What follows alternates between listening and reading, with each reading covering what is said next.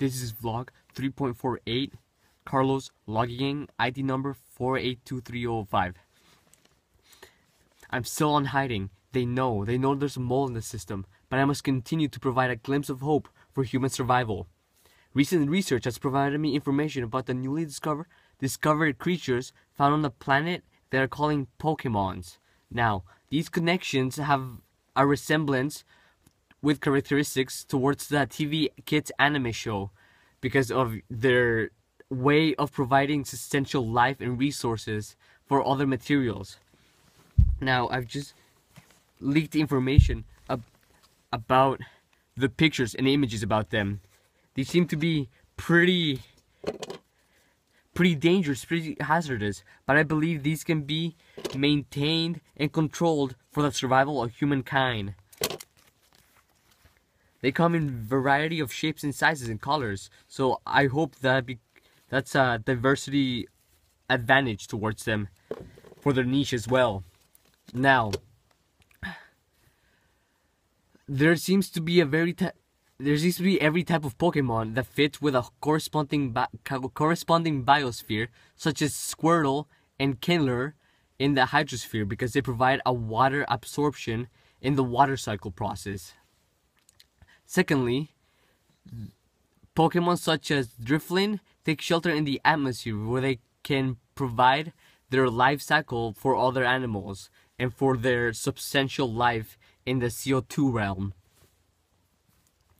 As well as Cubone and Lotting lives in the lithosphere because of their rocky niche because they help live in substantial volcanic volcano areas. Now, I'm drawing a map of where the most precise species of the planet are. Now, this is planet Kanto. Most water creatures live in the middle area where there seems to be a substantial amount of water. Most earth type live in the other two halves of the planet. Over here. Now, only rare and very powerful fire Pokemons live inside or around the trenches area because they provide the most heat for their survival. As well as they don't have to compete for other food and survival food characteristics. Details are still not clear about these.